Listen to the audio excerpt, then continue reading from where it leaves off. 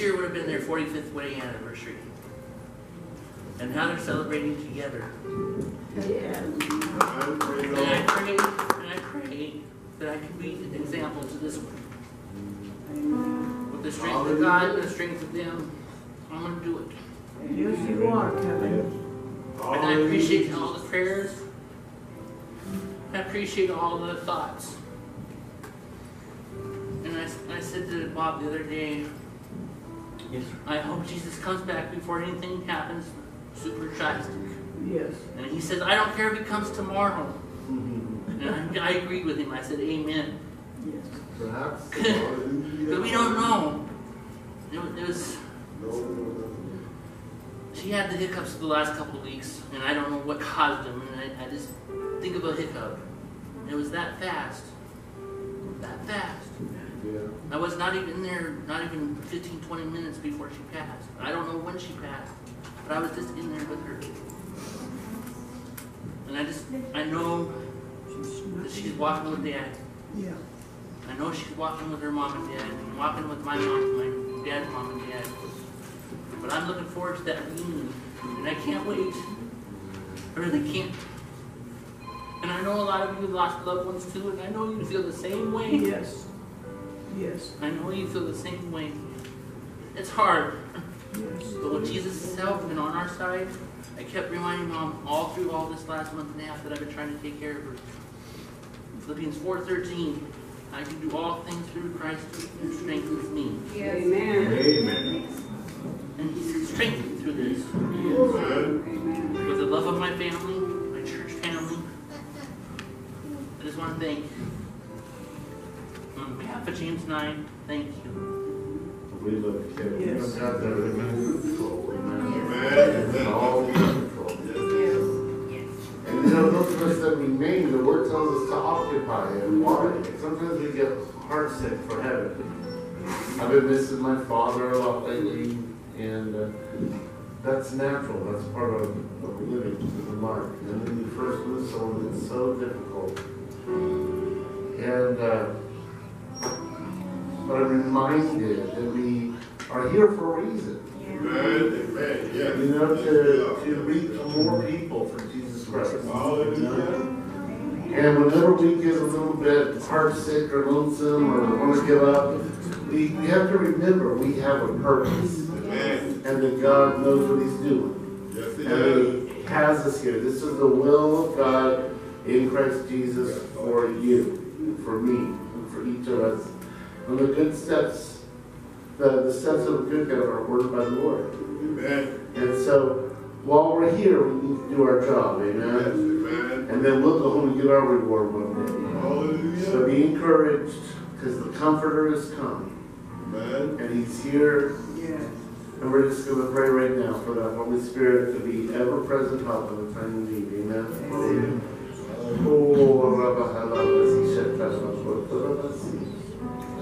that's just my prayer language. That's not a need of interpretation. Oh, hallelujah, hallelujah. Oh, Rabba Halabasi, Shetana. Yes, Lord Jesus. Father, we just come to you now. We thank you for your goodness. You're so good to us. Yes, Lord Jesus. We love you so much. Hallelujah. We lift you up, Father. We just lift your name. Yes, Lord. You're worthy of all glory and honor. You are worthy of all praise. Yes, You have everything under control, Father. Yes, Hallelujah. We cast our cares upon you because you care for us, Jesus. I pray now that you would send the Ruach HaKodesh, the Spirit of the Holy One, the one we know as the Holy Spirit, that you would send the Holy Spirit in a greater measure to be here to bring your comfort, your wisdom, Yes, Lord. your guidance, Father. Your word tells us if anyone lacks wisdom, Yes, Lord to ask the Father who gives them In the liberty. name of Jesus. So, Father, for all the decisions that need to be made, we ask you for your wisdom from Yes, heaven's throne. They will walk according to your precepts and your callings and your decisions for us. Amen. Father, we just give you all the glory and we give you all the praise, Lord. Hallelujah, hallelujah. Glory to God. Oh, Rabbi Hadaras. Yes, Holy Spirit, you're welcome here. Hallelujah. Amen. Amen. Amen. Hallelujah, hallelujah. You're welcome here, Holy Spirit. Hallelujah. You're welcome here, Holy Spirit. Hallelujah. Hallelujah. I keep wanting to sing. Hallelujah. Um, you don't have to help me because I can't remember the lyrics. Mom, you know them. Why do I feel discouraged? Why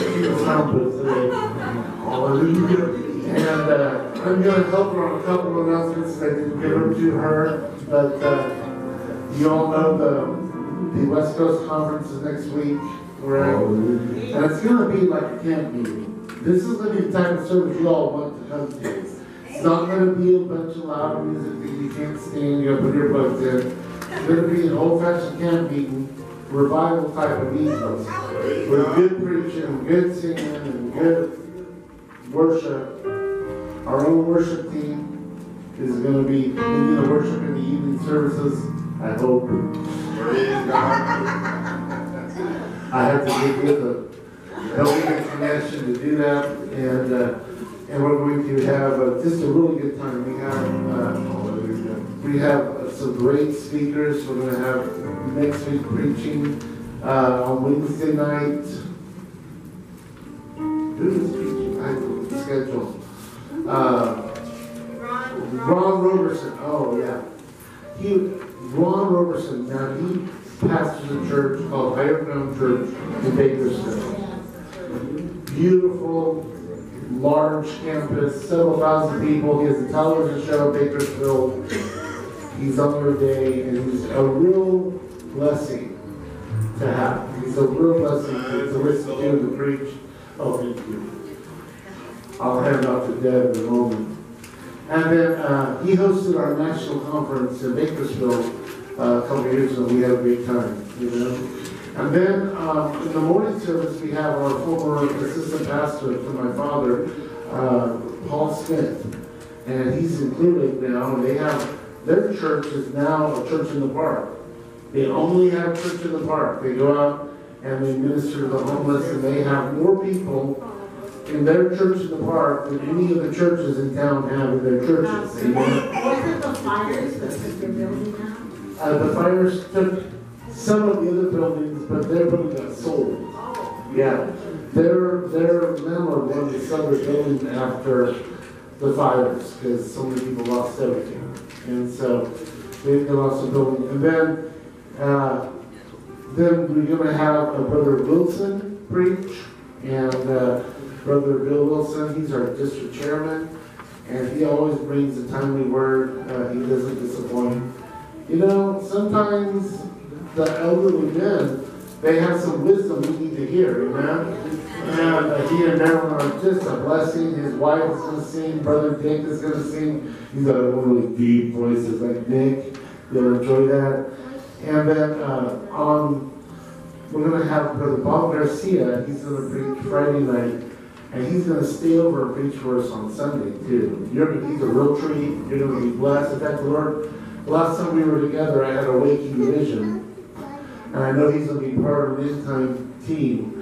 Uh, I we will be ministering together, but, uh, I had a waking vision of Brother Bob, and with his two boys holding his arms up, we were sitting at lunch after church, and God just showed me this, just, I'm looking at him in the face a minute, and the next thing, seeing this vision of him in a little church about the size of this one, with his hands up, people just coming in and coming in and coming in. And the Lord gave me the knowledge in that vision that he had been ministering for days, and as long as the anointing would be upon him, everyone that came in would be healed.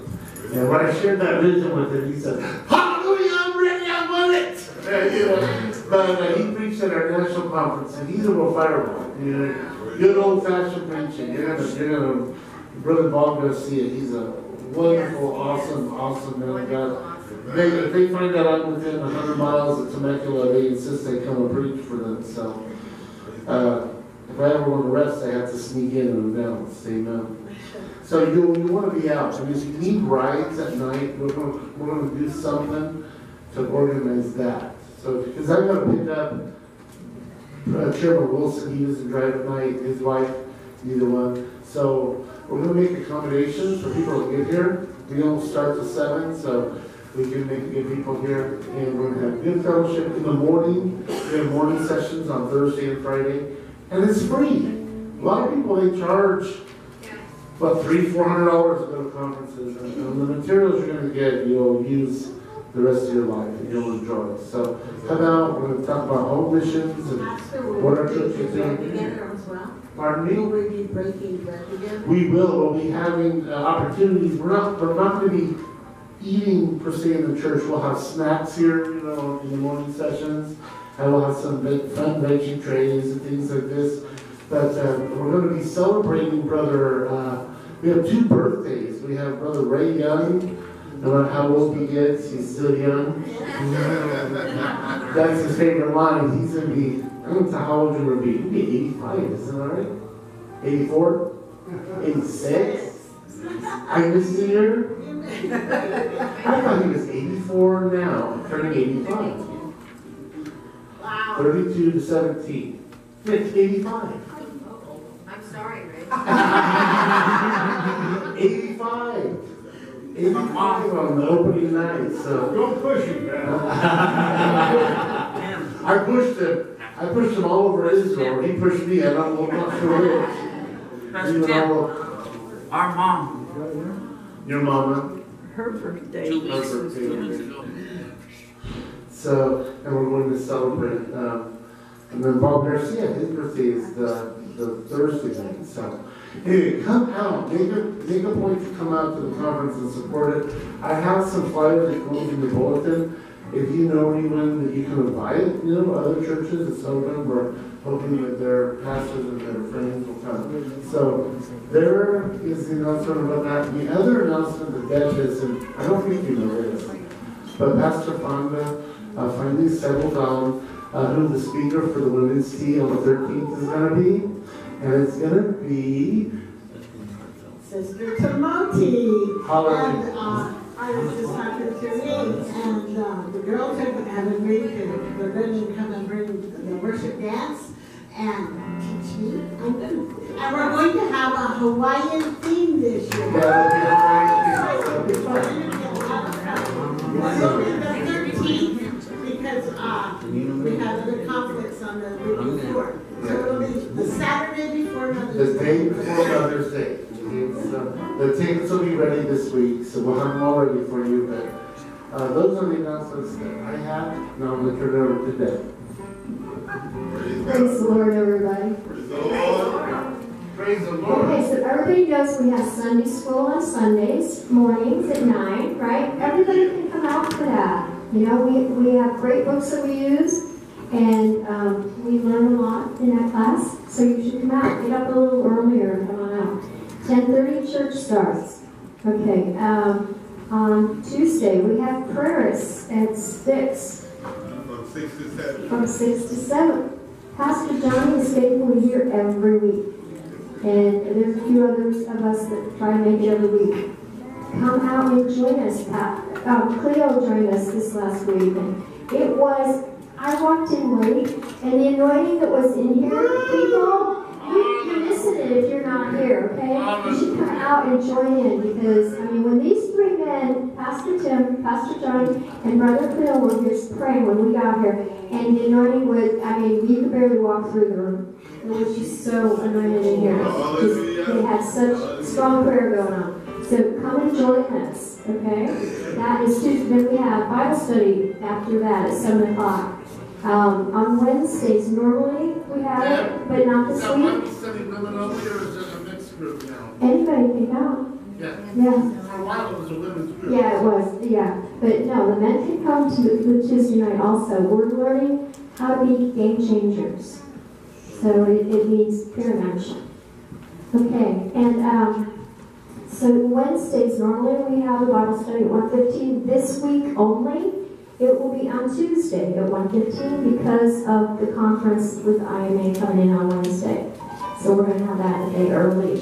Okay, and then we have um, upcoming on the 13th. Mark your calendars, ladies. You know, so that you can make it to the conference. It's going to be exciting. It always is. Every year we do. We have a wonderful time. So mark your calendars. See you come out on the 13th. And I have one other thing. April birthdays. I need all the people that have April birthdays, including Charlene, to come up here. It's getting there, Mom. And Ray, you have an April birthday? Yes, don't shake your head. Come on. I'm going on. And anybody else have April for my mother. birthdays? Okay, Kevin's gonna stand in for his mom. Anybody else have an April birthday that I'm missing? Matt's not here, Caleb's not here. We miss the boys. Praise the Lord. Oh, we have another birthday. Yeah. Tony. All right. See, when we have these birthday celebrations, truth comes out. Hallelujah. All right, ready? Happy birthday to you. Happy birthday to you. Happy birthday,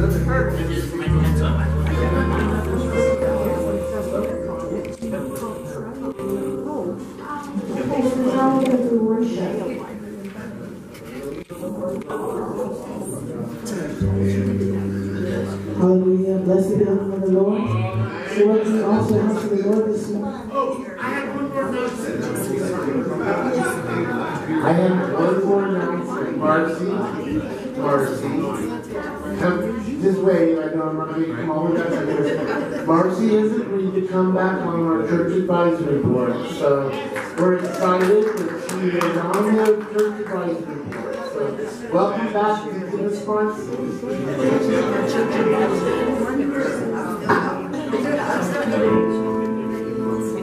Hallelujah.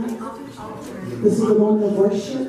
It's the most important uh, part of our service. Because if God is not glorified and crowned, what is the use of us to be here? Amen? We as Christians, we are um, hovered over with the, uh, the cover of death.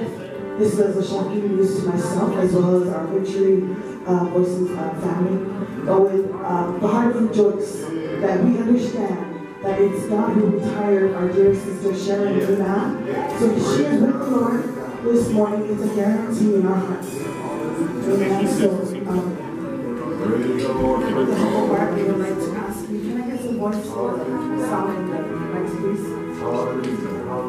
So with a humble heart, we would like to ask you to join us in worship as we sing, Bless the Lord, O my soul. And Psalms 91 verse 1 says, He who dwells in the, uh, in the place of the Most High, secret place of the Most High, amen, abides in the shadow of the Almighty.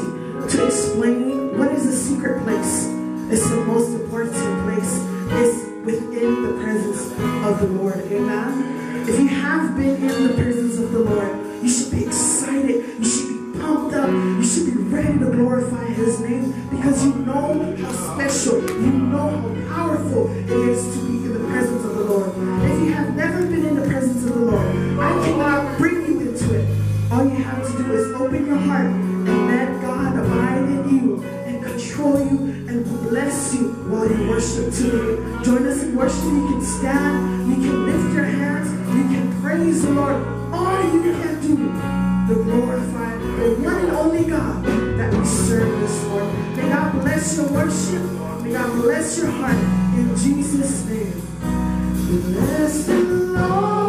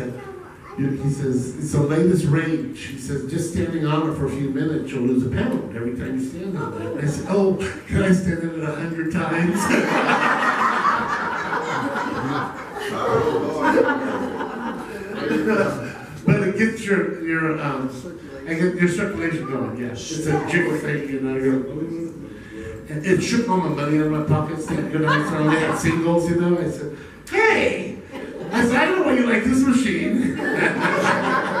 Shake some money right out of your pockets. Aren't you glad we don't shake the money out of your pockets in church? Amen. Let's give Barbara a nice welcome when she comes.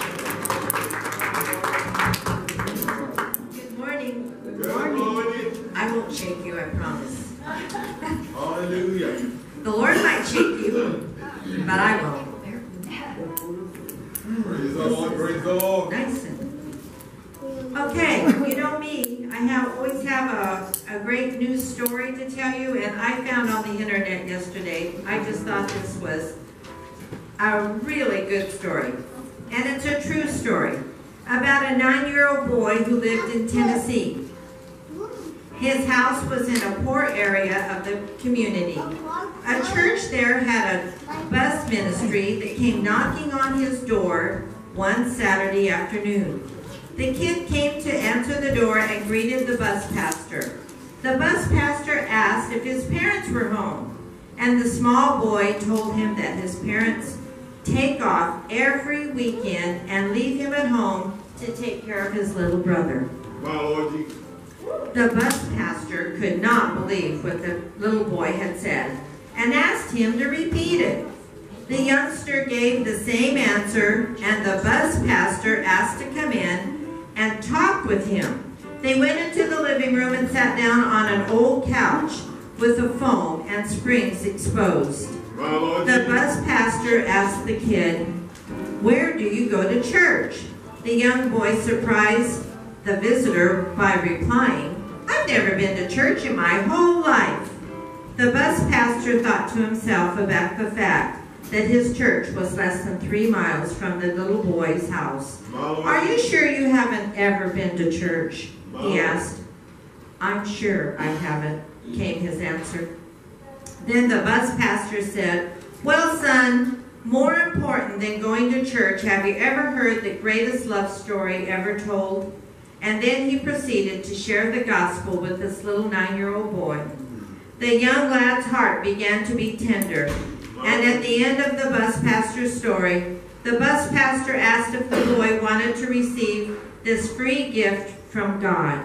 Amen. The youngster replied, Of course.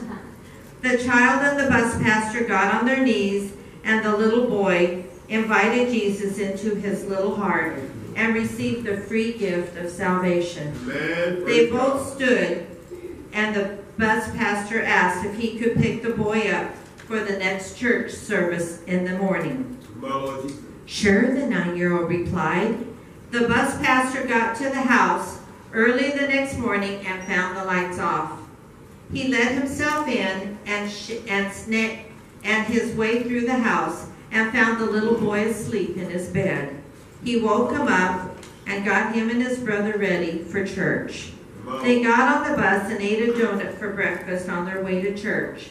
Keep in mind that this boy had never been to church before. Lord Jesus. The church was a real big one. The little kid just sat there, clueless of what was going on. A few minutes inside the service, these tall, unhappy guys walked down to the front and picked up their wooden plates.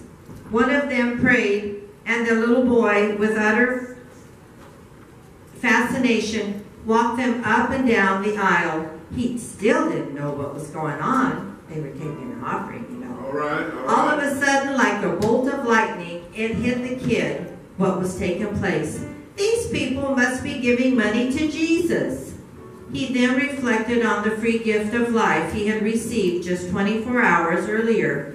He immediately shared his pockets, searched his pockets, front and back, but couldn't find a thing to give Jesus.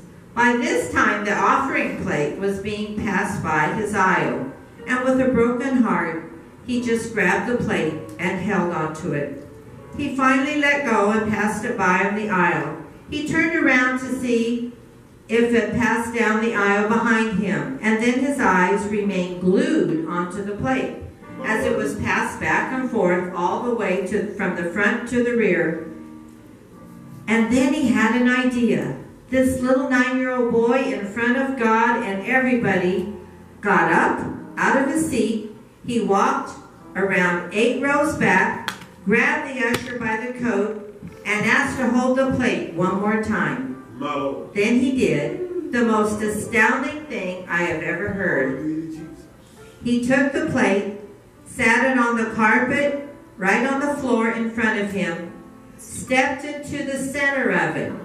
As he stood there, he lifted his little head up and said, Jesus, I don't have anything to give you today, just me. Oh, my Lord Jesus. I give you me. Hallelujah. To love him with all your heart, with all your understanding, and with all your strength. Yes, Lord Jesus. To love your neighbor as yourself is more important than all the burnt offering and sacrifices. Mark God. 12, 33, 34. You know, sometimes we don't have anything to give him but us. Amen. And you know, he knows that. Yes. You remember that story I told about the, the dime and the nickel and the and the pennies? Right. You know, some it doesn't take much for God. If it's all we have, He knows every bit of what you're doing. He knows what you're saying. He knows how you're living. He knows how you're acting. You can't fool God. You can't even fool Him with what you're thinking. Right. You cannot fool God. Amen. And it's more important if you only have a little to give, and sometimes if it's only you, then you need to give it. You need to give him your life. Amen. Shall we stand? And uh, most of you know how we give. Uh, just come forward and, and put it in the offering basket. We would appreciate it. We don't have coffee and donuts this morning, but normally we do. Let, let's, let's, okay, while you're giving, let's pray. Lord Jesus, I just thank you, Father, for what you're doing. Yes, Father, I thank you for each one Hallelujah. that's here. I thank you for each one that's Yes, giving. Father, I ask that you would multiply, Yes, in the name of Jesus. multiply what each one is giving. Lord, we know that you own the cattle on a thousand ah. hills, and we know that you can multiply to meet our needs Yes, in our church, Yes. in our homes, in our lives. Hallelujah. Father, multiply it. Just multiply, Yes, Father, Yes, in each one of us. In your name. And Lord, help us just to remember Yes, who we're giving to. Hallelujah. He doesn't need our money, but he needs you. Yes, Lord. And Father, we just thank you for what you're about to do. In Jesus' name, amen. Amen.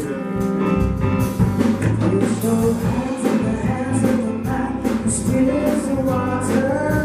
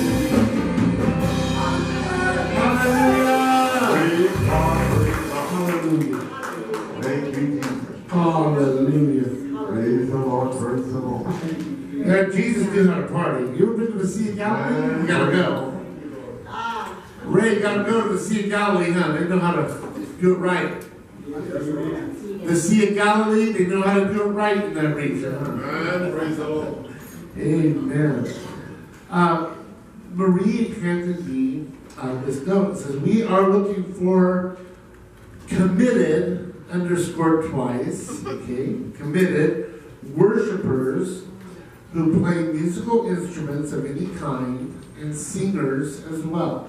Please see yours truly, or Marie, Marie, wait a minute, or Marie, practice is gonna start being on Saturday at six thirty P M. It's subject to change on work schedules, you know, sometimes we- Amen. Praise the Lord. But, uh, if you wanna see, we need to build our choir, you know, Yes. Amen. fire marshal said we can fit fifty-eight people on the platform. We need a fifty-eight piece choir and orchestra, and we need a eighty-four piece uh, congregation, right? We got a little ways to go, folks, come on. Hallelujah. Hallelujah. Let's bring some people to church, amen? Praise God. Praise God. Hallelujah. Let's get some worshipers in here.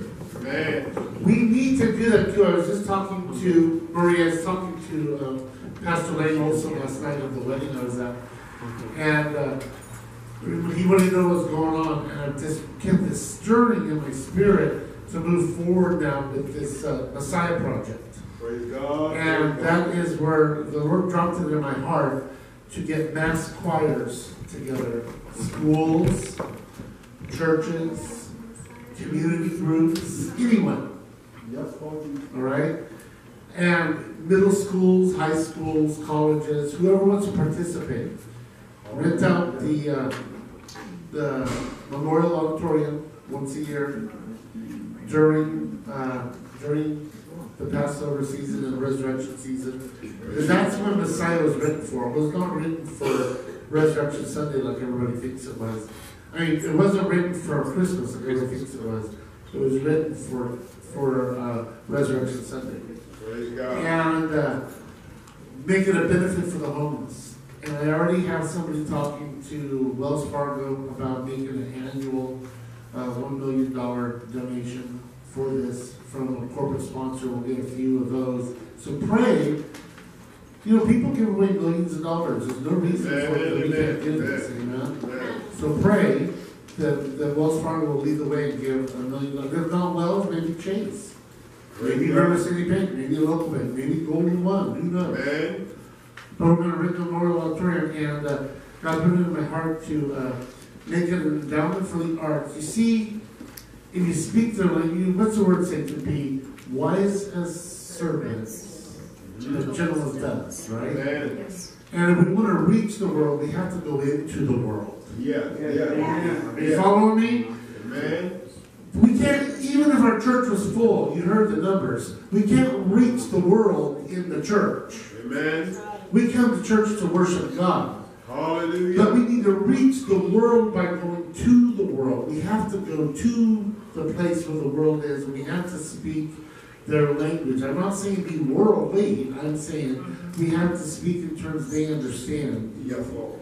They understand culture. They understand arts.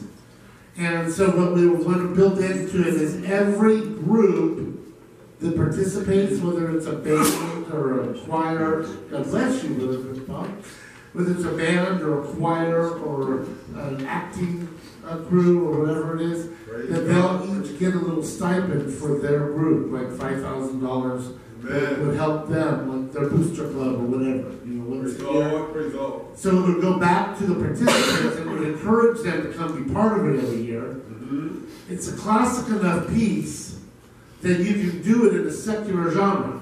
You know, Amen. everybody knows Handel's Messiah, you know, a young Messiah.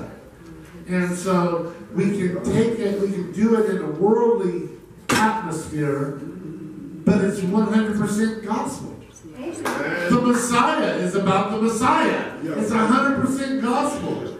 The word will not go forth void. Amen. Amen. And that would actually fund all of the food ministries indefinitely in Del Paso Heights and all of the shelters everything else. We could do one benefit a year, and it would be at the at the Memorial Auditorium, and we could get the gospel out to people at the same time. And we could do Amen. spin-offs from that. And we could Praise the Lord. all of our efforts could, could spin off of that central event once a year. Amen?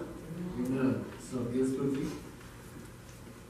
The church I belonged to once, when I was a teenager, Yes. we went into bars and sang. Yes. sang Within the bars and sang. and played Yeah. our instruments. Yeah. So, God will send you we there. can do it. I God, mean, God will send you places. I'm telling you. yeah, he does. you have to go to them. You have to go where the world is. The word says, "Go ye," right? Amen. Go ye to all the world and preach. Go ye and preach the gospel. Amen. It doesn't say sit in the church always. You know, it's, uh, amen. So we need to get a little bit more evangelistic. But uh, this Messiah project, uh, God is bringing us talented people. Uh, Pastor Lane, he could conduct the Messiah or part of it. You know, we have other people, guest conductors that are well known that have told me that uh, they will come. The violinist that we met at the Nowruz celebration at the governor's office young man, uh, almost a prodigy, very accomplished for about 17, 18 years old. He's, he must have been a prodigy. He's, he's very accomplished. He's a guest conductor all over the world. He wants to work with us. So God is lining up the people. Pray for your pastor to stay on it. And now we're getting, we have more help at the church too. We have other pastors coming on and board members and things to where we should be able to grow the church.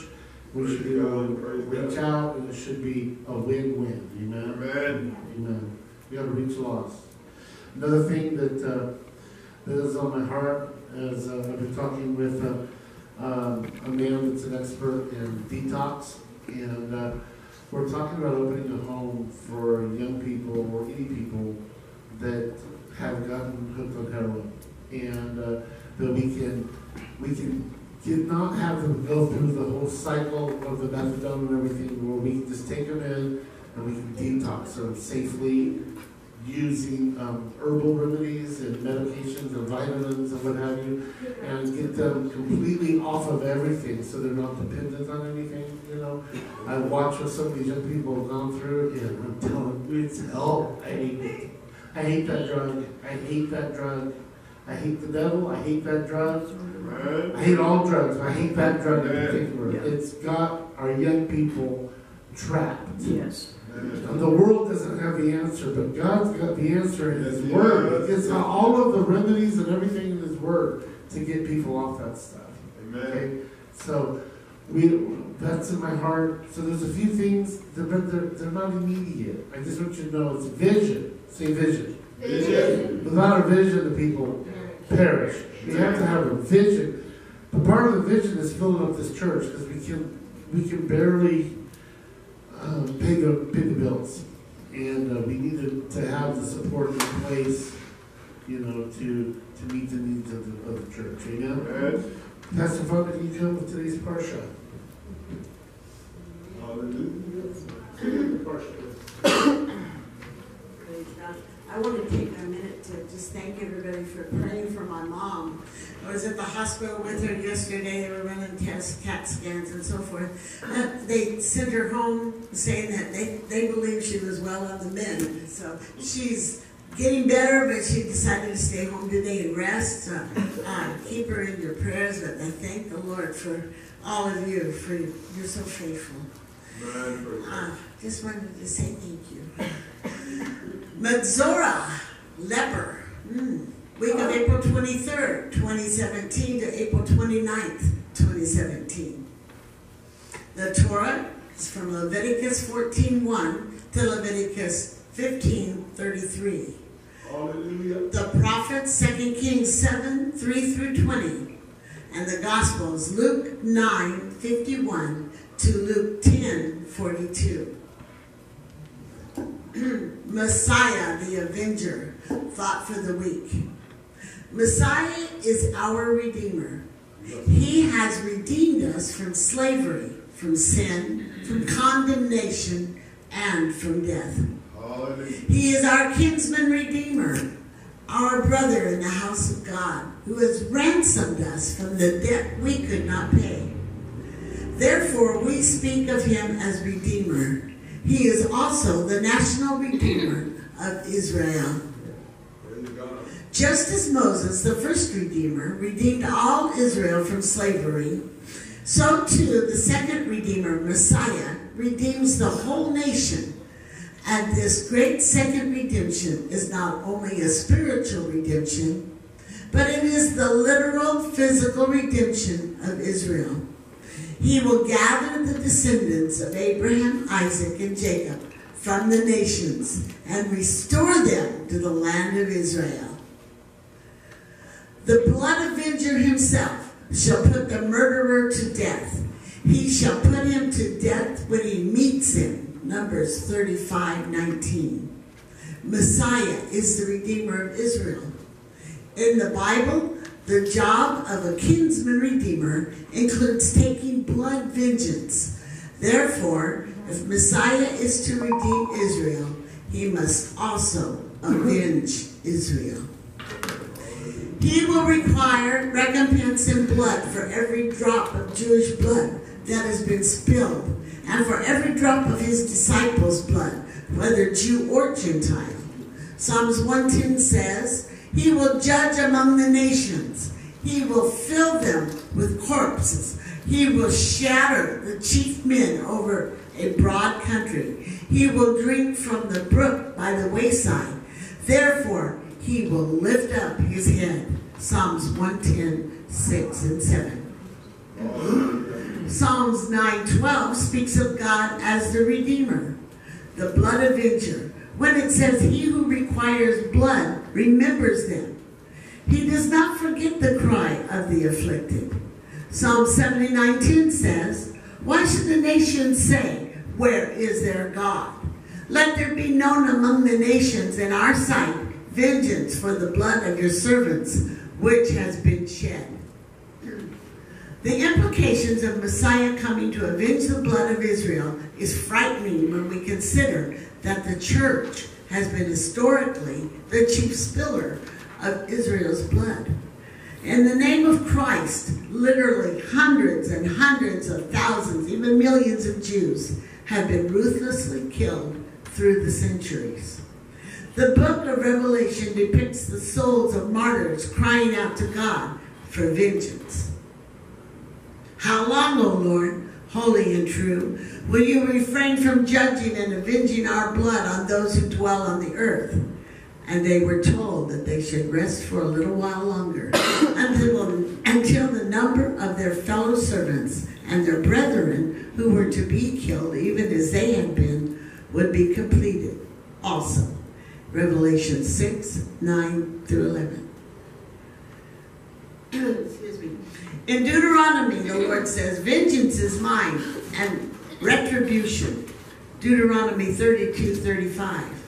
The prophet Isaiah assures us, Take courage, fear not. Behold, your God will come with vengeance, and recompense of God will come, but he will save you. Isaiah 35, 4. All of these texts combine to paint a dire picture of Messiah's second coming. When he comes again, he comes as the avenger of his people. The end. And praise God. Hallelujah. Praise the Lord, praise the Lord. For those of you new to our congregation, the Parsha is the part of the Old Testament that uh, customarily for over 2,000, well, actually 3,300 years, has been read every week throughout the year. Uh, the the uh, children of God had a uh, calendar they followed, and the Bible, the, the Torah, the first five books of the Bible, were divided into parts that each section, you read them together with the 52 weeks of the year, would read the whole Torah, the first five books of the law. And, or the instructions is a better word. And so it's a wonderful way to uh, witness to the Jewish people that don't know Jesus. If you know what the Parsha is talking about that week, uh, you can strike up a conversation with Jewish people and you can share the faith. We all worship the same God. They just don't know Jesus yet. One day they will if they're righteous. Amen. The Father promises that He will reveal Jesus to all of the righteous. And His Holy Spirit will draw them. So you can talk to them about there's only one God. You cannot separate Judaism from Christianity. And the true church is realizing this. It cannot be separated. There's not there's not two people of God. There's only one people of God. There's only one people of God. And he said that we, the Gentiles, if you're a Gentile, are grafted into the true vine when you become a follower of the Messiah, Yeshua. He's the Jewish Messiah, and that makes us all part of the family of God. But he says out of the two, in Ephesians chapter 2, so I'm going to the New Testament. In Ephesians chapter 2, he says, out of the two, he has made one new man. He tore down, Christ Jesus tore down the middle wall of separation between the Jews and the Gentiles, and he took the two of them and made them one new man. So we're basically one people.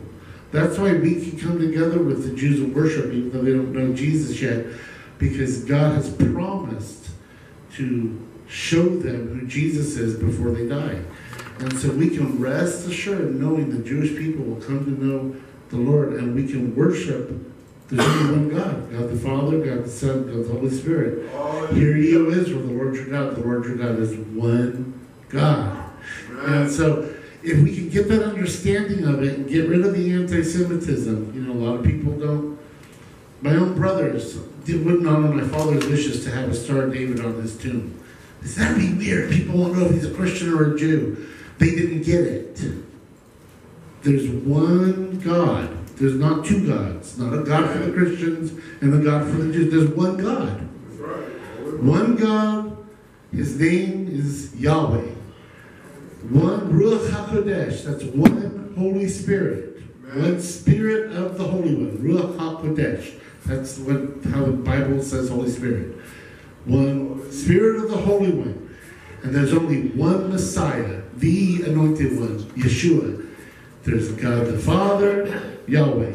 God the Son, Yeshua. God the Spirit of the Holy God, the Ruach HaKodesh, the Holy Spirit. One God, one people. He doesn't have a different plan. He has one plan for all of us. So we can get a hold of that and get rid of the garbage that we were taught when the Roman Empire brought all the pagan worship into the church. We'll be much better off. Amen. You notice I don't say Easter unless I slip, because Easter is the worship of Tammuz. Her Greek name, not Tammuz, Tammuz's wife, Ishtar. Her Greek name is Easter. Ishtar, Easter, the wife of Nimrod, who proclaimed herself to be the moon goddess that came out of Ostrogene. That's what she said. She married her own son when her husband was killed. Okay, so we so we we were fooled, and so we had grace and mercy. You know, all that stuff we were taught that was wrong. God gave us His grace because it's the blood of Jesus that saves us all anyway. It's not anything we know or understand or do. It's accepting the Lord. So, but as time draws near, we're, we're, we're living in the last day. As time grows near, it's important for us to know the true God and how He wants to be worshipped. Because there's going to be a false church and they're going to follow the Antichrist. Do you understand? That's the difference. The false church is going to follow the false prophet, and, and the true church is going to follow the teachings. And, and it's not all this Jewish stuff. So if, you, if when the devil brings that in your head, I need to find a church where they'll teach all this Jewish stuff. Rebuke him. Because the, the Lord is revealing in this hour. He didn't reveal it 20 years ago. He's revealing it in this hour the way he wants the church to really worship him. And he's given us an increase of knowledge. We didn't have the internet 30 years ago. We didn't have all the knowledge that we have now. Used to, you would have to have gone and studied with rabbis and Torah scholars and the Talmud and looked at all these encyclopedias and books and, you know, you'd have gone to the world's best libraries and on all seven continents, you know, or there's seven continents. You'd have to be able to, seven seas. How many continents are there? All right. That was a test. You'd have had to go all around and studied and hired gurus to teach you their religions, and you'd have to look into it. You know, it would have taken more than one lifetime to learn what we can learn in 24 hours on the internet now. All right.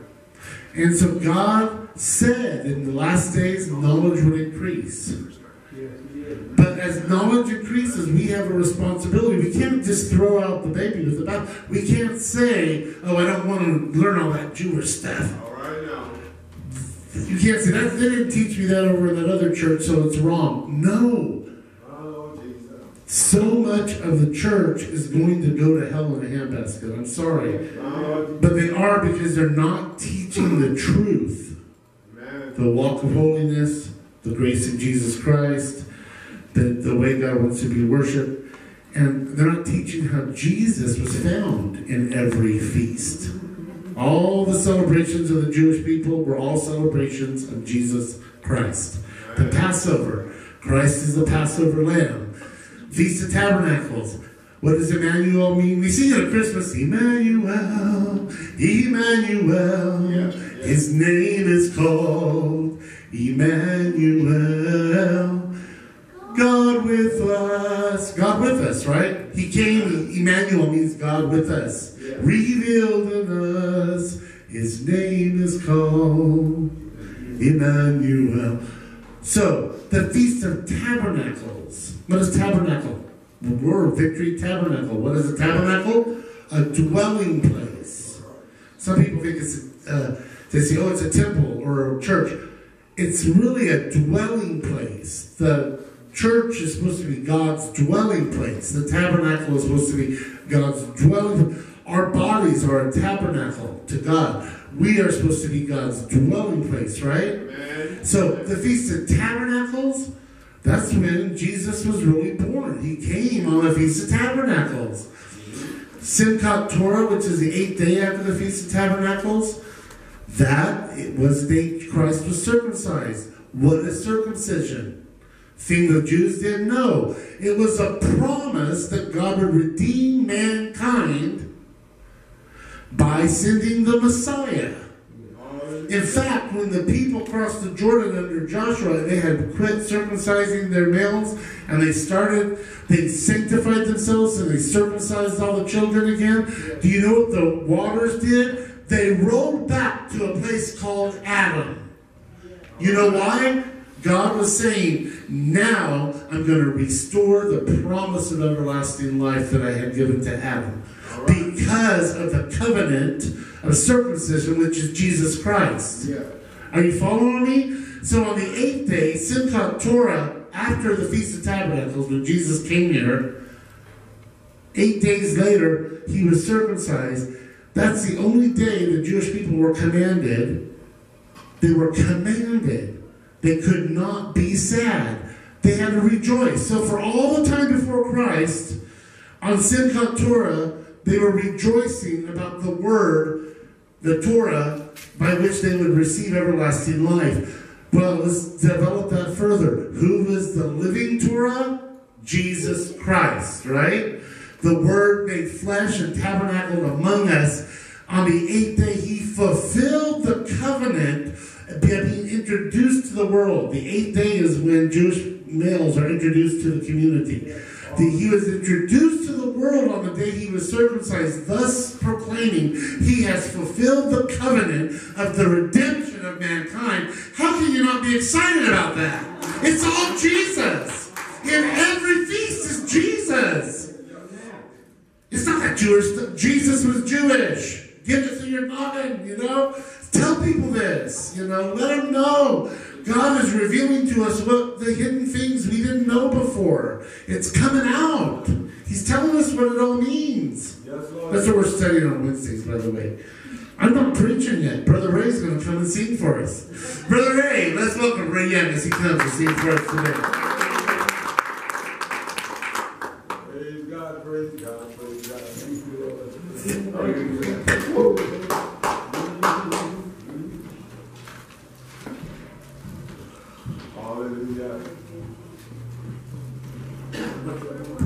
Before I start, I want to just say a little story about another little boy that went to church the first time. He was sitting on the back seat of the church, and when the offering was given, was taken, and uh, the offering came by, um, everybody put their money in, and after, afterwards, the pastor said to him, he said, "Son, this is your first church, first time in church." He says, "What did you like most of it?" He said, "Well, I like the offering."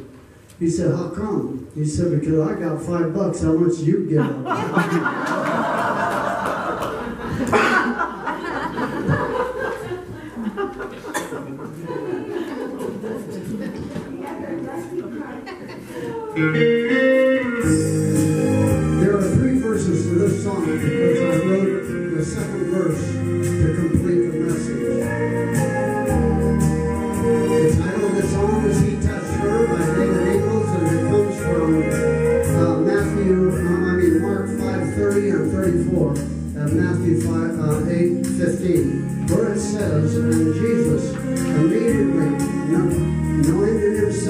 that the virtue had gone out of himself,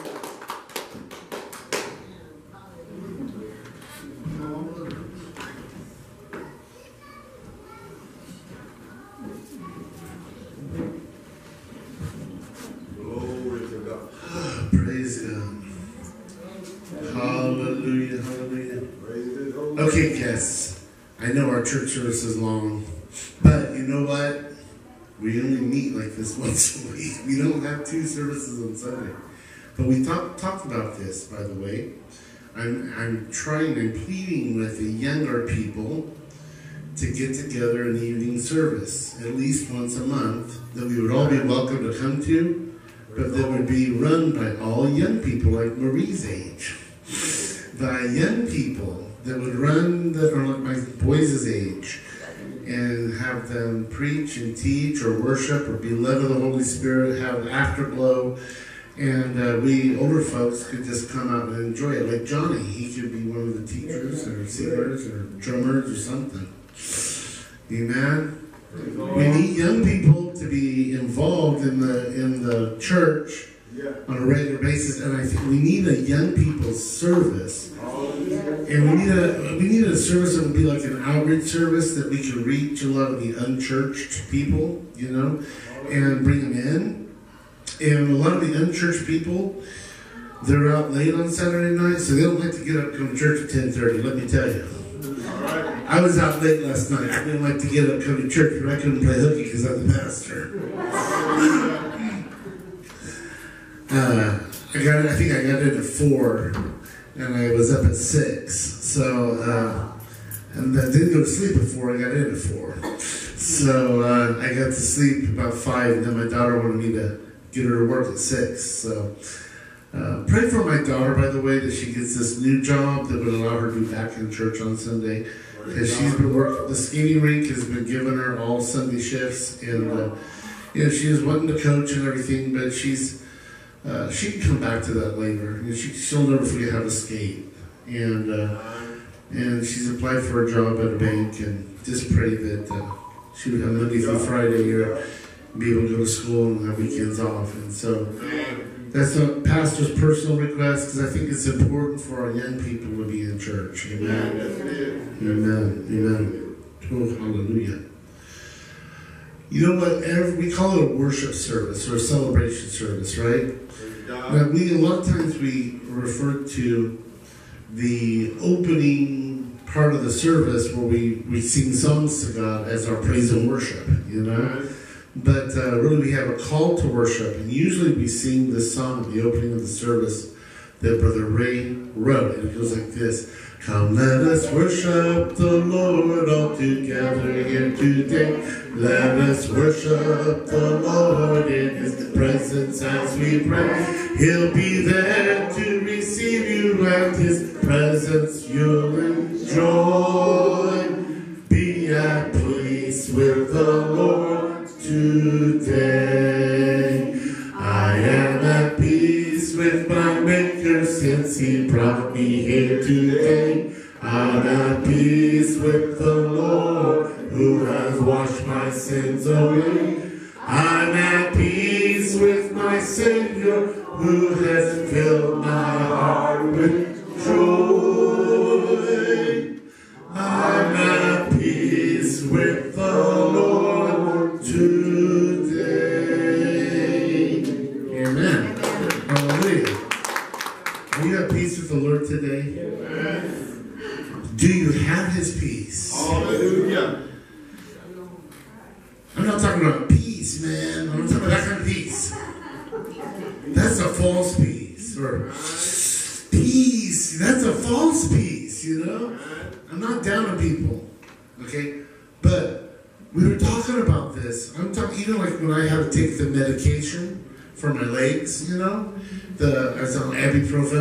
I won't take Vicodin because I, I have had a history of dependence on things. So I won't take anything that you get hooked on. But I was had to take the ibuprofen for my legs you know, to reduce the swelling. And uh, I said, that's okay.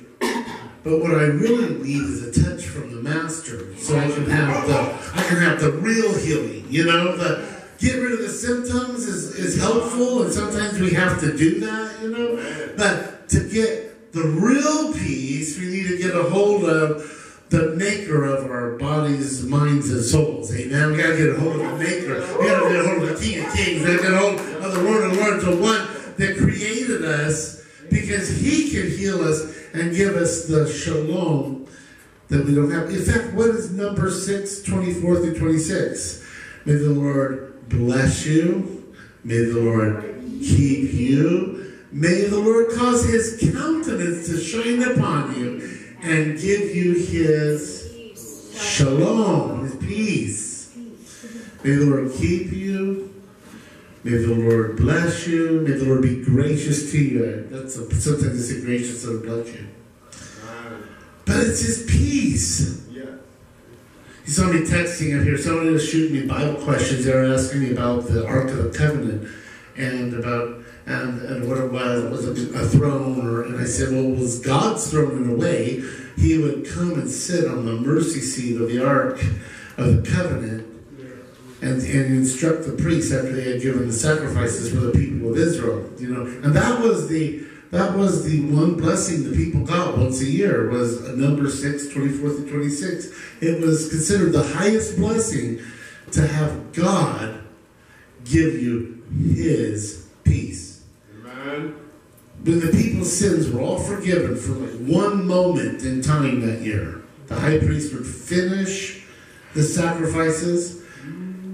He would go into the Holy of Holies and make sure, and hopefully he did everything right, or he would drop dead. He had pomegranates and bells on his hand and a rope around his waist. Because if he was not sanctified the way the Lord had told him to, be covered in the type and shadow of the blood of Jesus, that's all it was. But he wasn't covered, he would drop dead and have to pull him out by the rope. But if he was perfect in God's sight, then God would accept the sacrifices and the people of Israel would be perfect in God's sight. And they would get one blessing, and that was the blessing God's peace. Yeah. Yeah. Peace, peace, wonderful peace, flowing down from the Father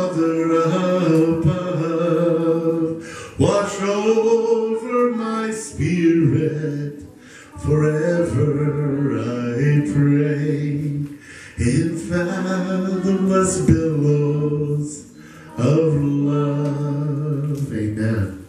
Peace. Amen. Well, today um, the Lord put on my heart to uh, to revise uh, a word He had given me before, and uh, it's called "Let Your Spirit Rise Within Me." And I was specifically thinking about the comfort that comes by the Holy Spirit when I was looking at this. Uh, we just had a loss. We just lost our sister Sharren, and uh, I was also thinking about a very difficult time in my life. Um, when I didn't seem to have peace. I was walking with the Lord, but I had made a couple of mistakes, and it led to like one of the worst situations I had ever had. You know, it seemed like the devil just capitalized on my mistakes and came in and took everything from me, just wiped me out. You know, Right. and uh, I knew that it wasn't supposed to be that way, but I remember that I, I wasn't even, I had a beautiful home, and, you know, it's a million dollar home now. I had a beautiful home and servants and all that stuff, and I left it all, and I was going to go stay in my grandma's duplex. I'll never forget, like, in one of the rooms in her duplex, in a little single bed, and I couldn't even go to sleep because I was like this. This was how I was. I would just lay there and just shake. And I would turn over and I would shake the whole bed. Like, do you remember those old uh, like Motel Sixes that used to have the quarter bed you put in, you know? I'm like, I'm and it was, uh, you know. That was like what I was, just me because I was, I was, um, I had no peace. And with that, you're a child of God. Why do I have any peace? I just, just laid there. That's when, that's when I got to know the Holy Spirit. Really got to know the Holy Spirit. Now, I was baptized in the Holy Spirit when I was five years old, on the same day I was baptized in water. but it was always just my prayer language or something I used with the giftings. I never realized how much God depended, God desired for me to depend on the Holy Spirit. And so I would lay there in my bed and I would pray, Holy Spirit, you are God. Come, comfort me. Come, hold me. Come, calm me. Come, just come be here with me. And I literally would feel his presence engulf me. Mm-hmm. And a peace like none other would come over me. And I would be able to drift off into sleep. And uh, I really learned to rely on his Holy Spirit for the next two years. It was a it was a very difficult time. And then, right when I thought the nightmare was over, four days later, my father died. You know, and it was like, really? You brought me through for this? You know, but God's ways are higher than our ways. Yeah. And if my father wouldn't have died, I would not have the relationship. That sounds awful. I don't want anyone to wish their parents to die. But if my father would not have gone home to be with the Lord, since he was my pastor, my rock, you know, he was my ever present help in time of need. My father was. He was my best friend, and I had been his prodigal. So I knew what it was like not to have a dad. I was the wayward child come home. And my dad and I, our relationship had been restored. He was my best, best, closest friend. But guess what? We serve a jealous God. He wants to be our closest friend. Even closer than our mother or father. And I see now, it really bothered me that he died at 63 because a righteous man is supposed to have 70 years. And I know he was righteous in Christ. But the Lord showed me, and I would, the Holy Spirit showed me. All right. This is why I'm preaching this message. I'm going to go quickly through it. But the Holy Spirit showed me that in that moment upon my father's death, he had a choice whether to stay his next seven years or go on and be with the Lord. And the Lord showed him what my life would be like if he stayed and if he left. And even Pastor Fonda. God told me the first year to get her ready and send her forth. She was always in the background. She was never a pulpit ministry person. But it was time for her to step into her next anointing. It was time for me to step into my next anointing. So God took my father home. I believe with all my heart he had the choice. And think about it, really? Really? If you're dying and you know you're dying, and Jesus shows up, man, you made it. I mean, why stick around? He's there to get you. Go.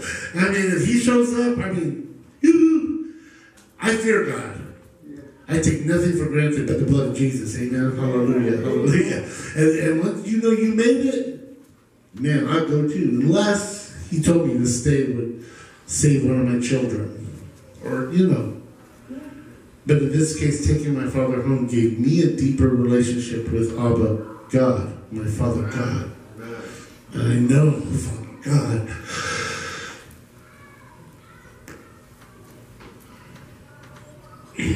the way I'm supposed to know Him now. And I never would have. Because we're human. And we, we rely on what we can see and we can touch. Amen? Let's go to the scripture. Lord, I ask, Father, that your anointing would be upon me, that you would uh, speak through me, that uh, I would not speak senseless words that are not your intent for today, but that I would deliver them as always been.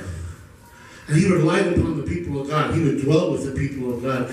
And it's the same way with the body of Christ. When we accept Jesus Christ as our Lord and Savior, we are baptized. Say baptized. Baptized. Some of you were baptized in water last week. Hallelujah, Wasn't that awesome? That was awesome, right? That props, major props. That was really cool. But um, we're gonna do it again. But um, what's that? So is the water. Yeah, so was the water pump. Yeah, we didn't plug it in and get it nice and warm for you. Well, we did have it plugged in, but of a little colder. It's not authentic. Amen. But when you accept the Lord Jesus or Yeshua, as his mommy called him, when you accept him into your heart as your Lord and Savior, you are baptized into the body of Christ by the Holy Spirit. So the Holy Spirit is present in your midst, okay? But then, see, we don't need a high priest anymore. You notice when Jesus died on the cross, the veil was ripped from top to bottom. Praise God, praise God. Oddly enough, that was the last sacrifice ever made. You think that, you know, if God didn't blind the Jewish people, they would, and they're very intelligent people, they would have figured it out by now, but God had a way. He wanted them not to figure it out. But we, looking through the understanding of, of Messiah, we can see that the very that Christ was the final Passover lamb, the final sacrifice. The veil was rent from top to bottom, so we no longer need a high priest to go in before us because Jesus is our high priest. And he's not after the Levitical priestly line. He's not after the Kohen, the Kohan. He is after the order of Melchizedek. And that's a whole other study, and people disagree over who Melchizedek was. Uh, but anyway, he is the high priest after himself, the priest of God. And Jesus has paid the price. So, we no longer have the sacrifices. So, now the Holy Spirit dwells in and amongst the body of Christ. Amen? But Jesus said, when- before he left, that he was going to send us a helper. This is your preview. That he was going to send us a helper. And that he would be a comforter. And that he would teach us all things, you know? We had an example in the Old Testament of the Holy Spirit teaching somebody how to be a silversmith. He just showed up and taught them how to be a silversmith. So that was an example, a practical application of a spiritual thing. You know, we can ask, I do this all the time, even in my secular business. I'll say, Oh, Holy Spirit, come, teach me. Teach me how I need to write this offer. Teach me how I need to talk to this person. Let me know, because the Holy Spirit knows the end from the beginning because He's God. And He will teach us. He's faithful to teach us all things. Okay? But you see, we need to be baptized in the Holy Spirit. Say, I need to be baptized. We need to have the baptism because Jesus said that He would come and baptize us with the Holy Ghost and fire, or the Holy Spirit and fire. right? And that, that baptism in the Hol- so He's no longer just like sitting next to you, you know, but you are immersed in Him and He's in you and you become one. Okay? And then he speaks through you, amen? As as you grown in your infirmities, he knows your infirmities and he speaks to God about them. And now this has been scientifically proven because they know how the brain works and they can do studies now of the frontal lobe. And that when you're praising God in the natural and you're extolling him and you're lifting him up and, and you're saying all of his praises, this frontal lobe it, it woo, woo, you know, it's like a unicorn, you know, it tunes into God. And woo, woo, and but but when you speak in tongues, hmm. that activity goes away. And people say, What? That doesn't sound right. No, it's right. Because you're no longer speaking in your understanding and thinking for yourself, but the Holy Spirit is searching your infirmities and speaking to God about you to make you well. So it's a scientific proof that you are not in control of even your thoughts because while you're speaking in tongues, your body, your brain isn't working the same way. Your thoughts don't are not happening. They're coming in at you from another way. And that's only be God. So people that are scientific, they need to understand that science always proves the Word of God is true. It always does. Every time. Archaeology always proves it. So we had in Moses' day that the, the, the, Holy Spirit was in and among the people and he would light. You know what lighting is? Like settle on people. You know, light upon you, you've heard that term? It's kind of an old fashioned term. That's why I'm like, what do you mean light on me? I don't I don't know fly lighting on me. What do you mean lighting on me? You know? But it, it landed on us, you know, it settled on us. Light, you know, settled upon us. Okay? And and but it would come and go. The Holy Spirit even settled on Saul when he was chasing over David to murder him. But the God is God, and he decided when he went in to, to minister to the priest to light upon him because he wanted to bless the priests. And he used Saul, who was in the kingly office, to do that, to bless the priest. Because God is God. He can do what he wants to do. Yes, he is. Okay. I promise we're going to close and walk out that door at 1 o'clock. All right? Now. That'll be prayer and everything. Hallelujah, in case you're wondering. Hallelujah. Daniel 4 and 6. Now, we, our Christmas play, was it this year? We did from the perspective of the Magi. The Magi that came to see Christ. Do you know where they see, came to see him? Because Bel, Belshazzar, he was, uh, that's Daniel's name, Belshazzar, but King uh, Nebuchadnezzar had a dream, right? Right. right. Was it Nebuchadnezzar? Yes. It was Nebuchadnezzar. Yeah. No, that's Daniel's name. But he had a dream, he was a pagan king. He wasn't a Christian. He wasn't a godly man. He wasn't a Jew. He was a pagan king of Persia, Iran today. And he said to all of his soothsayers and his fortune tellers and his magicians and everybody, he said, I have a dream. You're going to tell me what the dream is and what it means. And if you don't, I'm going to kill you all. We can't, we can't tell you. Huh? they didn't have Joseph yet, right? Ah, we can't tell you, we can't tell you. And so Daniel, Bel- Belshazzar, is, that was his name. Daniel went to the, the executioner and he said, no, don't kill us all, because Daniel was put in with all those people. Said, don't kill us all. He said, my God will tell, he's told me the dream. He's told me what it means, and he went and told he told the king the dream. He told what it meant, and so uh, he spared all those people, all the magicians and fortune tellers and all the magi in in Babylon or in Iran. All the magi, they didn't lose their life. So they knew that Daniel's God was the one true God because he saved them. So they taught their generations to watch for the promise of Daniel's Messiah who is going to come and live with the Jewish people. And for 500 years they watched the heavens looking for the sign that Daniel told them they were going to come. And so that's why the three magi came to pay homage to Christ when he was just a lad. He was not, they weren't at his birth. He was about two to three when they got there. The reason they came was because they were coming to say thank you for saving our people.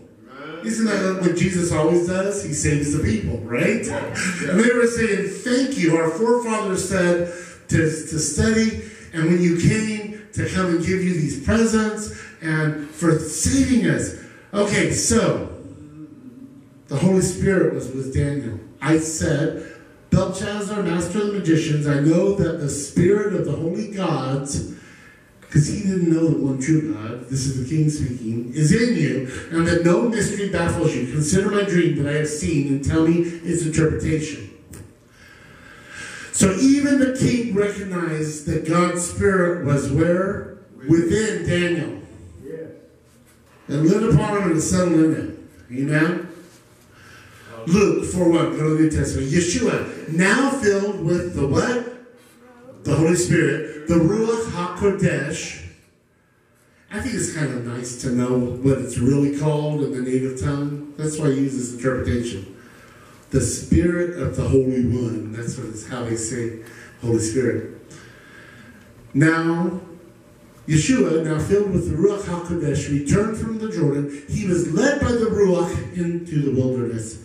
All right. Now think about this.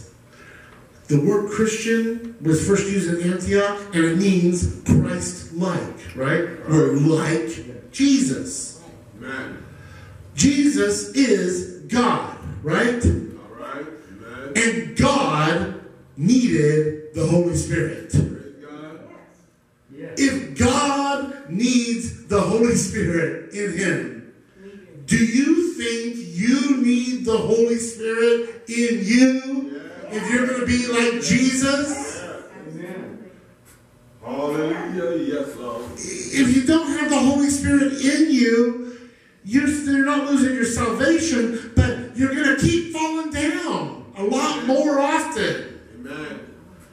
You're not going to have the authority and the power over sin that the Holy Spirit gives you. Amen. But isn't that just, I mean, just think about it.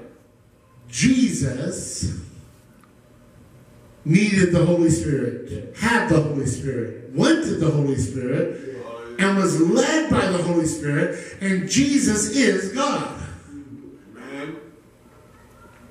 I know it's kind of trippy, but it's the way it is. We need the Holy Spirit. We should be full of the Holy Spirit. Praise God. Praise God. Luke 11, 13. If you then being evil know how to give good gifts to your children, how much more will your heavenly Father give the Ruach HaKodesh to those who what?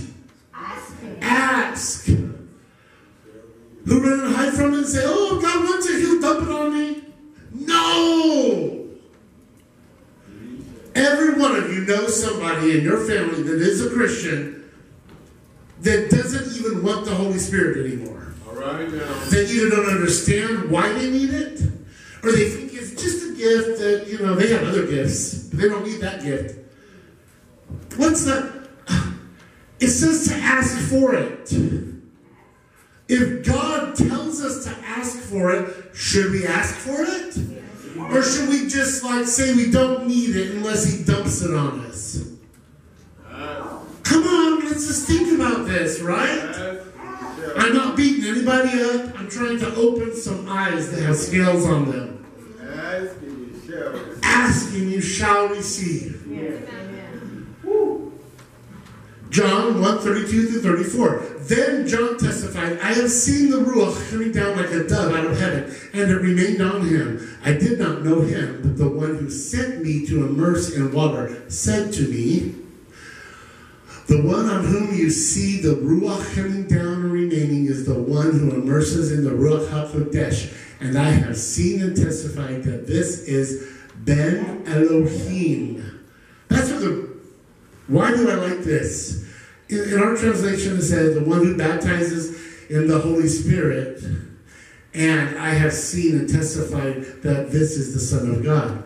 But I love this because it uses, and once again, it tells us that God is plural. Elohim can only be used that I am. You know like how we have an S? If we say bird is singular, birds is plural, we have an S. Okay.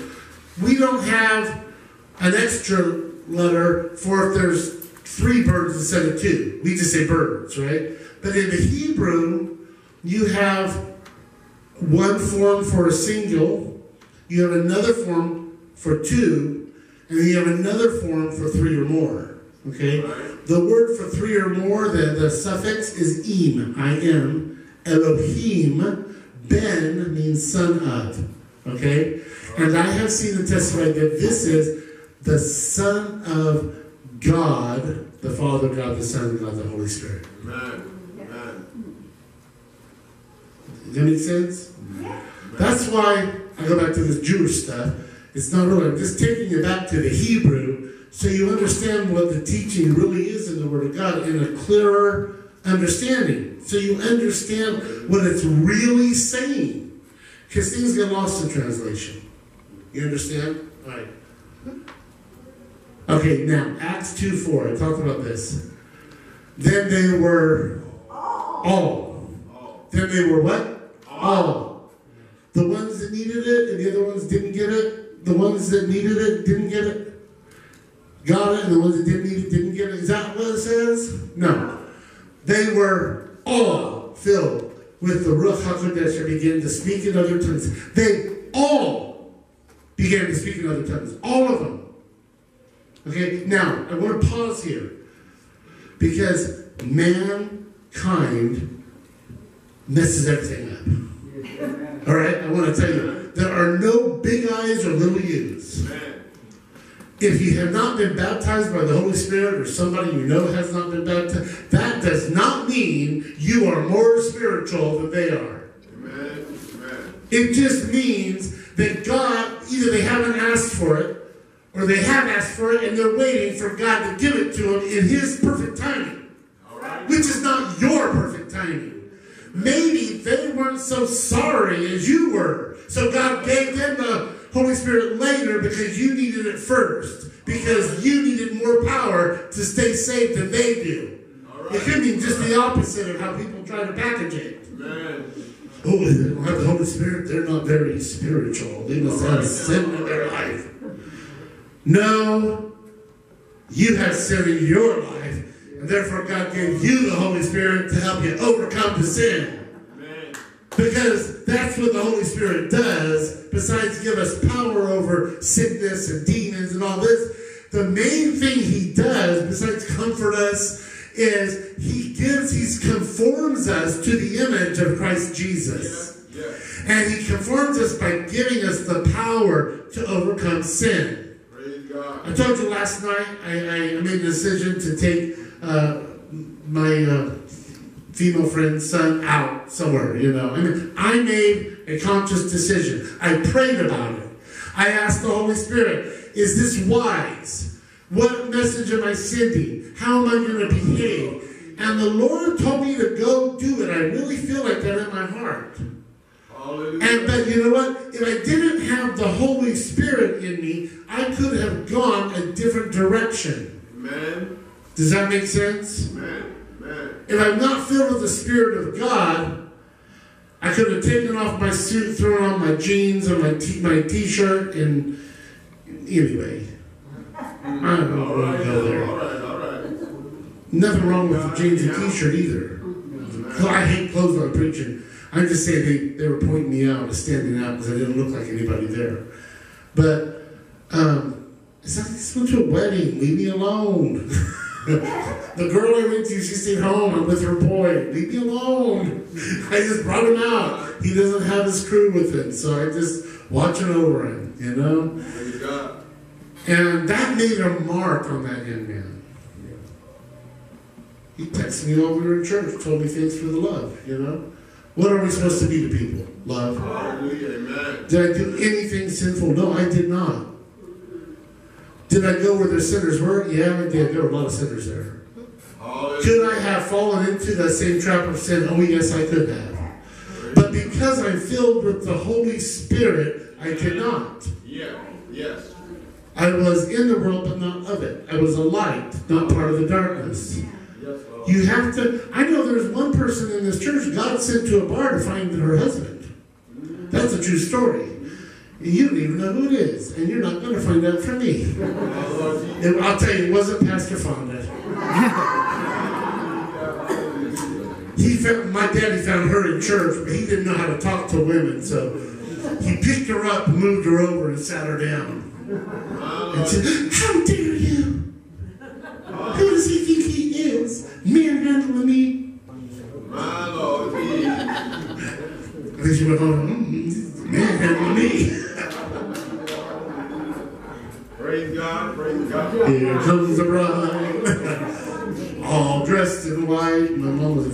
virtuous woman, so was my dad. God. Praise Praise God. We all need the Holy Spirit. Amen. We all need Him Yeah. Yeah. in us.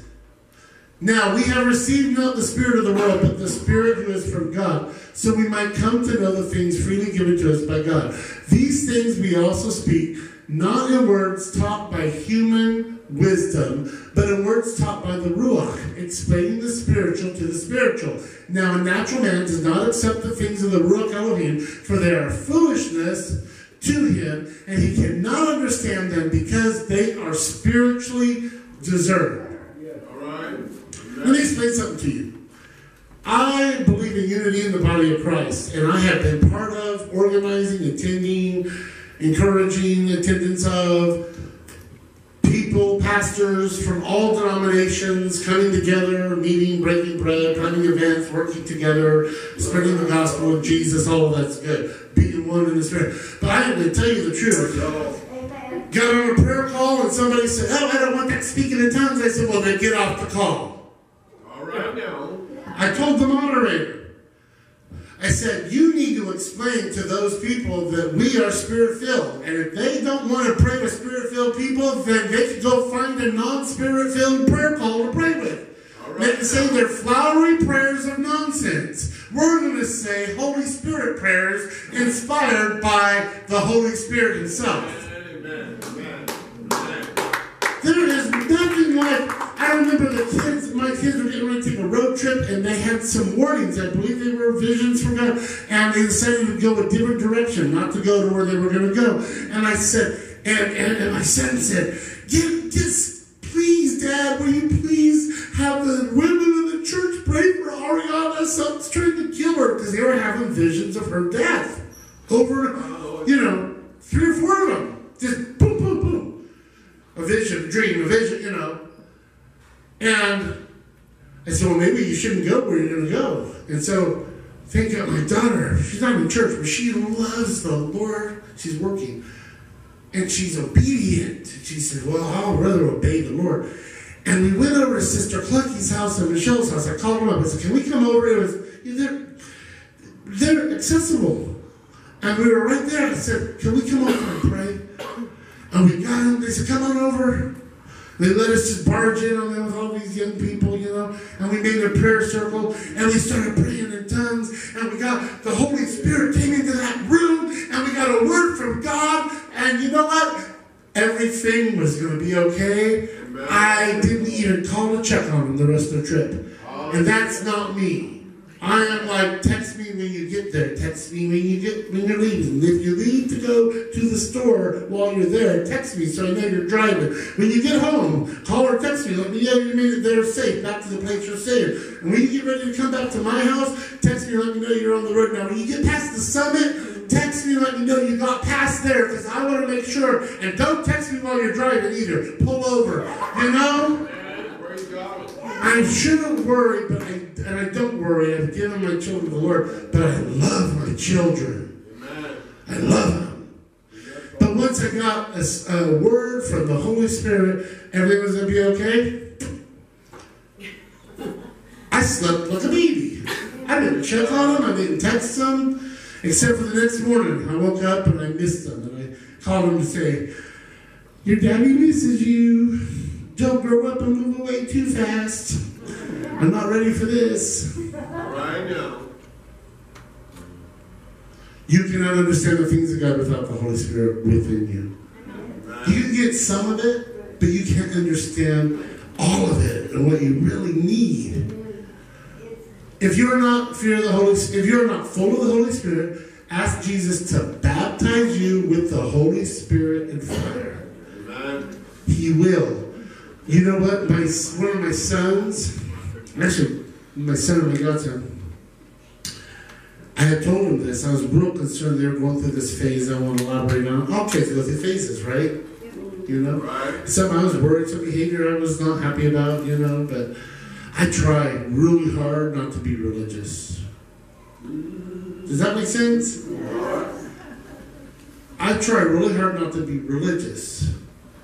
Because the Pharisees were religious. They were very religious.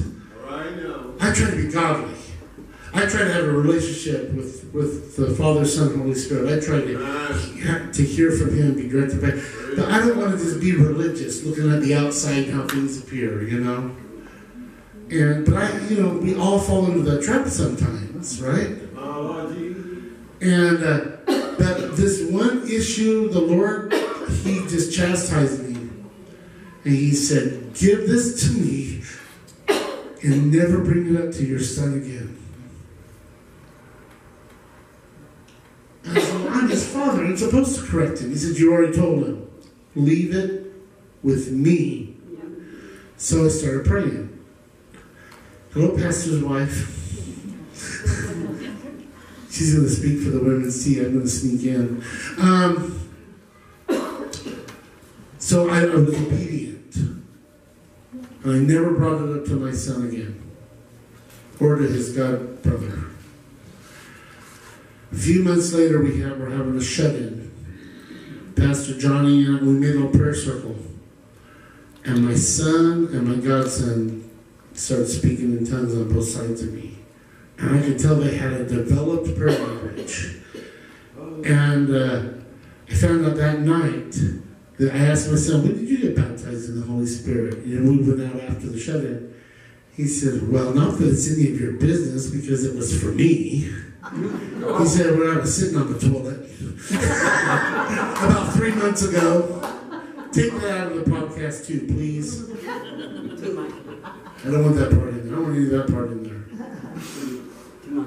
Go back when I start reading the scripture. Okay. But he said, by the way, that other situation, God took that at the same time.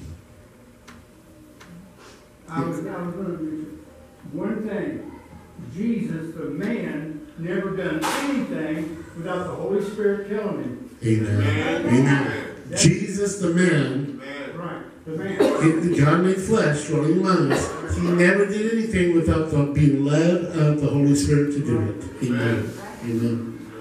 Absolutely, you are absolutely correct.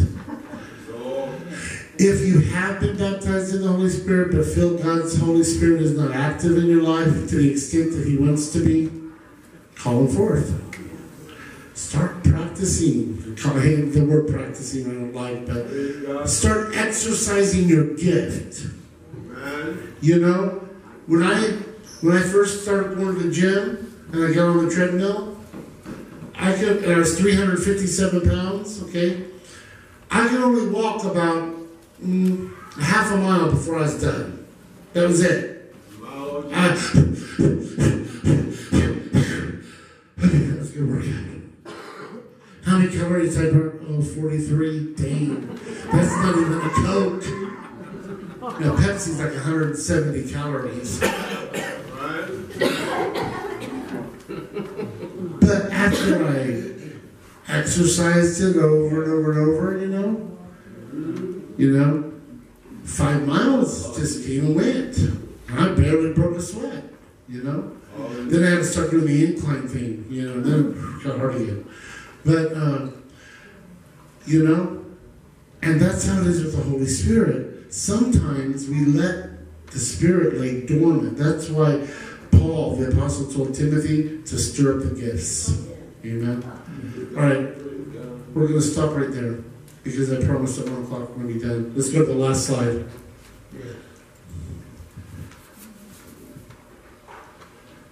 Call upon the Lord. This is the life application. It's a real easy life application. It's like everything. It's always just turning over to God, right? Call upon the Lord to let His Spirit rise within you. Paul told Timothy to stir up the gift that was placed within you by the laying on of hands. Amen. If you're not baptized in the Holy Spirit, ask Him for it. Don't be embarrassed. Don't be ashamed. You don't have to. Act, we don't go running up to the altar and crying and squalling and bawling and tearing off your eyelashes if you got fake ones on, or letting your hair turn gray if you got it dyed. I mean, that's all man-made garbage, right? That's actually stuff I heard pastors tell women in the church when I was a kid. Not my dad and not in this church.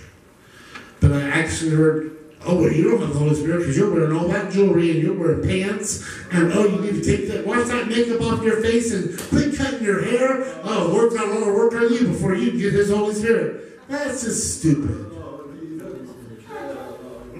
Don't let people conform you into their doctrine.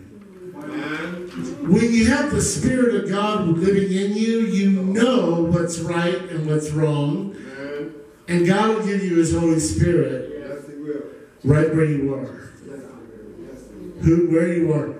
And you know what? He'll never take it from you. When I tried running from the Lord and I was in my little punk rock scene, and I was not living righteously at all.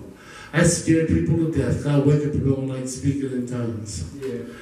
And they'd say, What is that? I say, I'm just ignored it. It's just the Holy Spirit. They say, You're weird, man. You go somewhere else. I said, Don't just shut up. I'm going to sleep. You know? Because God was chasing me still. He never took his spirit from me. Yes, man. Praise God. Let's stand together.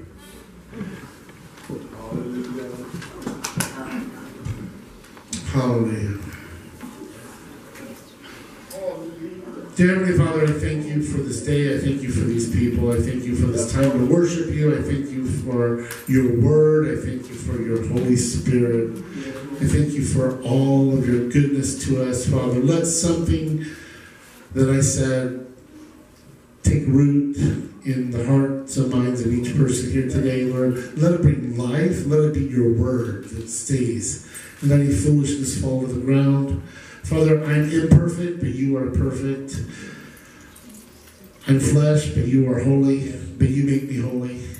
I hide myself in you, Jesus, and I ask, Lord, that you would conform me more to your image. And you would teach us, Lord, how to be conformed into your image, how to reach more with the gospel. I pray over all the things that we've talked about today. I pray over everything with the finances of the church, Lord. And we give you all the praise and we give you all the glory. We thank you in Jesus' name. Amen. Amen. Amen.